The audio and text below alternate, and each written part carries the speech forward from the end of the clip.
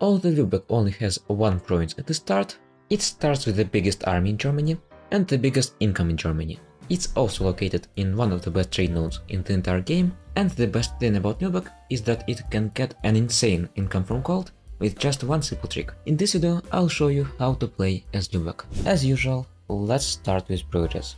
Grant mana privileges, this land, grant religious diplomats, clerical education, military advisor cost reduction, nobility officer rights, burger loans, and if you're comfortable with strong burgers and you're willing to manage estates, grant Nevusco rights, and allow burgers economic freedom. They will become quite powerful though, be careful. Some that died, choose whatever you like here, grant admiralship and grant generalship. Now choose your trading fleet and start protecting trade in Lübeck. Hire free company, check out your diplomatic advisors if you have improved relations 1 or diplomatic reputation 1, you can hire them. As your rivals choose your neighbors and you can choose either Brandenburg or someone else.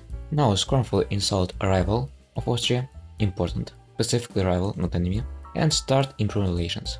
Okay, you want to sample, right click on your neighbors and check if some of them don't have allies. Usually Lüneburg and Saxe-Lauenburg don't have them, at least they didn't in all of my test runs, so you can finish your first mission and declare with conquest. Assign general, you check him out, not bad. If you don't see any good targets and you have free diplomat, you can start improving relations with rivals of Denmark. Sometimes it's Poland, sometimes Burgundy, sometimes Lithuania. You need to find some allies against Denmark. Yes, it starts friendly to you, but don't ally it. Okay, here we go, let's peace out, take one province and targets. So you might ask why declare on 11 December? Because these nations can and will find allies. So it's better to conquer them while you're strong. So it's better to conquer them while they're weak. So now you want to get 100 relations with Austria and find two allies. No matter what allies, just find some. It really doesn't matter, it's really just ally for once, I guess. Maybe someone else we will break this. Alliances, don't worry. We just need to finish this mission. For this you need to have either Import Relations Advisor or the Diplomatic Reputation Advisor. They almost always appear on the start, so you should be able to do it. Now you will get 25 trust with Austria, and that means you will be guaranteed to ally it. Okay, yes, I don't know why it's like this, but if you do this in the first month after you get 25 trust, you will be able to it, believe me. And about unlawful territory, most likely Austria won't ask for it. Okay, so I see I can almost ally England and I can almost ally Lithuania. And yes, Lithuania here is independent, but it doesn't really matter, you just need to find rivals of Denmark. If you recall, let's ally England. Oh no, almost, almost. Yes, here it is. Let's break some other alliances. For once, it's useless. And I will try to ally Lithuania. It's very important to find some allies against Denmark, because Austria won't support you. Also, let's briefly talk about trade leagues, maybe let's expand it. So you see, members of trade leagues will give you 50% of their trade power. And what's more important, your missions give quite big bonuses to those nations. I recommend to make trade leagues not in Lübeck, but in Germany, in these two trade nodes, Saxony and Rhineland. They flow into Lübeck and most likely you won't expand there. Invite Anhalt, Frankfurt. It doesn't cost diplomatic relations, so you can do it as many times as you want. It will be more and more difficult to invite them because of size of trade but I recommend to do it with as many nations as possible. Okay, here we go, we can invite Dortmund, and I also see that Mecklenburg is really easy target to conquer. Always check your neighbors, always try to find weak neighbors. So we can declare and take some provinces. Or we could also declare Dithmarschen, but it would be quite difficult. Before that Dithmarschen, I would first conquer Holstein. Anyway, let's conquer Mecklenburg, should be really, really easy. Here we go, stack wipe. Like I said, nothing difficult. Now we just need to siege down the fort. Okay, siege down Mecklenburg, let's threaten Brunswick. If you want to piece out like quickly, just siege down some provinces and put your troops on their capital. Yes, as you can see, they're almost agreed to peace out. Well, I have to siege down Brunswick, but this means at least we will get some money. And let's fully conquer Mecklenburg. Don't worry about collisions. Right now, it's not a problem. And don't worry about unlawful territory. If you're allied to Austria, it won't ask for it. Okay, now that we conquered Mecklenburg, we have access to one more center of trade. Here it is, in Wolgast. We could also expand here, but it's not that easy. You see, Hamburg and Bremen are free cities. That means that Austria will always protect them. Always. There are some ways to conquer them, but they will give you a lot of great expansion. Now we can finish the mission, Greening Steers Ahead. And we missed out on some claims, but it's not really a big deal. Finishing this mission would require declaring on Denmark. Anyway, now it's ally Lithuania should be possible, yes it is. Let's check out Denmark, we need to carry some favors. Not a big deal. Meanwhile, we're going to chill, and our next target will be Lüneburg. Yes, you see, you're a Merchant Republic, that means that you shouldn't be conquering a lot, you should not be blobbing, but I think it's good idea to conquer whole Lübeck trade node directly. Also, two provinces in Germany won't make a coalition. You just need to play carefully just because HRE provinces give a lot of aggressive expansion. And remember you also need to declare Denmark. Well, I would need at least 5 years I think to do it because I need to carry favors, so it's safe to declare on Lüneburg. And by the way, always keep an eye on Gotland. If it doesn't have any ally, strike. If you see good opportunity, declare as soon as possible. Well, I guessed correctly, no coalition now. But I would need to take some pause because next war will most likely create a coalition. And by the way, it's not necessary to expand like I do. You could, for example, conquer only coastal nations first, or maybe you could declare on Denmark earlier.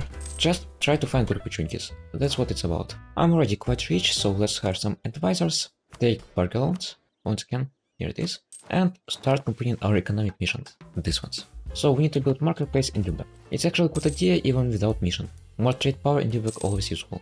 Here I need to be really careful because Saxony has very strong general. Stack wiped somehow. I guess that's because of military technology. Yes, they have third, I have fourth. Never be behind on Miltech. Never. Let's peace out Saxony, take war operations, and let's peace out Lüneburg. No collisions yet. Okay, now there is this mission, but always read the reward. Some of them are conditional. So we need to get 160 relations with Hamburg, maybe let's ally I don't know, or maybe, maybe just relations, why not? And whole trade league will get some bonuses. Okay, I think let's ally Hamburg, because it's allied to Denmark. Finish the mission, get some bonuses and plus 1 administrative power, and I will try to prevent it from joining the war against Denmark. Maybe let's even boost Poland and Denmark and the colony directly. Also by the way, might be worth a try allying Poland. Also just a heads up, you can finish most missions by inviting nations to Trade League. But Poland is actually quite good province and has great monument, so it's better to conquer it, but Riga would be better as independent nation. As third country from tech republicanism, and also marketplace is built here, let's develop Lübeck 4 times and we can finish one more mission. So right now I will declare on Denmark. Knight our ships, take some worker loans, buy good general, yes you can buy generals, don't forget that you can do this. All this one is really good, both combat and siege. And let's declare on Denmark, most likely. I tried to prevent Hamburg from joining in, just because it will leave our trade league. We would need to add it once again. It's usually possible, but still it's inconvenient. And also Austria won't help you. That's why I told you to ally Danish rivals. And don't forget that Sweden is usually unloyal. As you can see here, 100% of Liberty Desire. That means it won't help. So that's like minus 12k troops from Denmark. It shouldn't be really difficult, maybe a little bit more, here it is, let's go to Lithuania.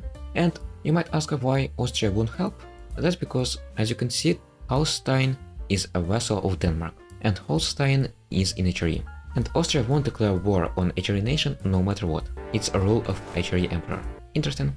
Well, I guess that's because we declared on Denmark, not on Holstein. Okay, okay, it's good. So first I would recommend to try to piece out allies. That's the first thing you should do. And don't forget to hide your ships. Meanwhile, we can start building some galleys, I think. After we piece out Hamburg, Riga and Teutonic Order, we should have naval superiority. Yes, as you can see, Hamburg and Riga left straightly. Oh, and also forgot to mention very important information. Mercantilism. In the events with mercantilism, always take it. Always. Need a lot of mercantilism to finish Lübeck's mission tree. Okay, I will siege down their capital, I'm almost done. I want to take trade power from Teutonic Order. Here we go. War patience and trade power. Don't take money because you will have to share with allies. Okay, that was the strongest of Denmark, now it will be a piece of cake. Also, by the way, you should do this. Take unnecessary provinces, these ones, and start improve relations with angry nations. Once again, we won't take all provinces, but better to start improve relations now so we can take as many as possible. Okay, let's piece out Hamburg and Riga. As first idea group, take diplomatic, that's always the best idea in HRE. Also, by the way, the work with Denmark will take some time, but we can conquer Gotland. Lithuania won't support it because we are at war together. Let's conquer Gotland, very good province, and the loot fort here. No one would even land here. And I won't help Austria to siege down Sealand, no need. I need to do the opposite, to try to drag this war, while improving relations with any angry nations. My improved relations campaign is going just great, a little bit more and no coalition, and I can take all of this. And because I have more than 50% straight power in Lübeck, I can finish piece of Lightning Block. Okay, only Palatinate is left, I think I will wait for 31st December. Okay, here we go, we can peace out. Let's take trade power and war operations. Well, just war operations, also good. Now let's wait, check out coalition. Well, everything should be good. Let's buy one more diplomat and put it on improved relations with outraged nations. Yes, that's the power of improved relations. You can ignore quite a lot of aggressive expansion. So why take this princess? Well, Sealand is actually great province, like really great, I want central trade here and Holstein, not only because of central trade, also for the mission. Pen and sword. We'll also need to conquer Dithmarschen. I think I will wait for a little bit. After all, we have a lot of crazy expansion. Let's also invite Hamburg to Trade League once again, and Riga. Here we go. Also, if possible, hire Improved Relations Advisor. Improved Relations really helps with aggressive expansion. Also, by the way, we can cancel clearing of Holstein, because after we finish this mission, if you have more than 100 relations with the Emperor, you will get core for free, but I will clear everything else. Also, as soon as you can, build such flagship. Light ship, trade power per ship in fleet, it's very important, take this. And after this it's up to you, but I would take fleet engagement with and fleet blockade impact siege. Or you can take movement speed or whatever. The most important is this, trade route map. I have some free mana, so let's develop Lübeck. We need to have at least 25 developments here, and it should be more developed than these points. I will also need to build workshop here, but that will be later. First I need to build flagship. I will also once again break claim Denmark, just to be safe, so we can declare on it no matter what. Also it should be safe enough to declare Dithmarschen. Once again, there is no set order on what to conquer. You can conquer depending on your situation. Here for example Dithmarschen is really weak and is a good target. But Wolgast is also a very good target, but it will just cost a lot of aggressive expansion, plus it can ally Poland for example, or summon Throne. In this case it's not, but I will need to wait more. And once again I will start improving relations. It's very, very important. Okay, our flagship is ready, and that means that all ships in the fleet will give us plus 1 trade power. Let me show you. So with flagship, protect trade, plus 96 from ships, without flagship, only plus 16. So flagship will really help you with trade. Because I've built workshop in our capital, we can finish two missions. Finance the guilds, and every trade league member will get the same, that's why trade leagues are important. And by the way, trade league members will turn into vassals. Not right now, but eventually if you finish the last Lübeck missions. The Lübeck herring market. I would recommend to choose the first option, because basically these local goods produced are the same as manufacturing. Plus fish is more expensive than naval equipment. Oh no, even more goods produced than manufacturing. So unless you have some specific reasons, it's better to choose the first option. And just by coincidence, I can finish one more mission. Impose a Lübeck law. And I once again want to underline, let's say, get more mercantilism. You need a lot of it, and, and I mean a lot. Right now you can not buy it, you will have some bonuses to it, but just keep it in mind. Let's erase Renaissance by the way. And now I will develop this province a little bit more. It will also help with H objective. I will be able to complete this mission and get cheap advisor. But you also can ally some Italian nation and it will also work. Okay, here we go, we can peace out. Improved relations will really help you early on. Just don't forget that you can improve only upwards to 100. So if you have more than 100 graphic expansion, it won't work. It only works for some time. Anyway, I improved relations with Austria 200, that means after I finish this mission, I will get free core on Holstein. Here it is, no, I didn't core it, and finish the flow of trade. And because we also conquer Zealand, we can finish this mission, and get some claims, in this case on Sweden. Most likely you quickly will have more money than you can spend, so you're going to build some marketplaces, some uh, workshops, well, you know, the usual stuff. Just don't build anything that provides a less than 0.1 income. Let's also invite some more nations to trade leagues. Preferably should invite the ones uh, with centers of trade, and build some populations here. I hired this advisor and built some ships. We can finish, expand the Admiralty. You need to finish all of these missions to get the best reward in Lübeck mission tree. Okay, let's I think maybe send some money. Maybe let's uh, proclaim guarantee. I will give some subsidies, but I will cancel them later. It's just so I can invite it. Yes, here it is. Okay, now let's stop paying it and roll guarantee. It won't get angry. Try to find as many league members as possible. Well, this mission branch is really straightforward. Just check the requirements. Let's also hunt pirates here in Lübeck. And we can finish one more mission. Yes, in just one action. Hunt pirates. I will also spend some money to upgrade central trade here and finish one more mission. Plus 100 tickets to every member of Trade League, and some claims obviously. As next study group, you can either take Plutocratic, or if you really want to plop, you can take Humanist. It will help with improved relations. I'll take Plutocratic. Also, the truce with Denmark has ended and Sweden will support it. It's very good. Why? Because of this. This way we would be able to cancel Swedish alliance with Poland without any problem. Call Austria, maybe no, neither England nor Lithuania wants it. And now we can call Lithuania. I don't know why, but let's do it. Also check it out, because I block straits from Sealand, that means that after I defeat this stack, it will be stack wiped. Yes, here it is. It was stack wiped. I was trying to piss out Hamburg, I can't, unfortunate. Okay, let's piss out Sweden, just break alliance with Poland, very important. This way we would be able to conquer it later and transfer trade power. And yes, once again, coalition seems scary, but most likely everything will be okay. we just need to improve relations. Although we can peace out, I will prolong this war. As you can see, the collision is getting smaller and smaller. Okay, I think that's everyone I could improve relations with. Well, almost. Let's peace out Denmark. Once again, it's not necessary to conquer that much, especially in Denmark. Ideally, I should have conquered uh, some of trade, but well, I want to. Betting map is fun. And I also see I can quickly go on Norway and take one central trade. As first ability, take justified wars, it's just a no-brainer. No need to even think. Let's just take three back provinces. And not only it will help us with trade, but more importantly, it will grant us access to Dalaskogen. You might not understand why is it important, but believe me, if Lübeck controls Dalaskogen, it literally can print money. I can also invite Kosar to Trade League, let's do it. And I forgot about Hamburg, let's also do it. Happy Saxony, yes Saxony, very good. As the current from take one more diplomat, always handy. Also would recommend to finish this mission earlier than later.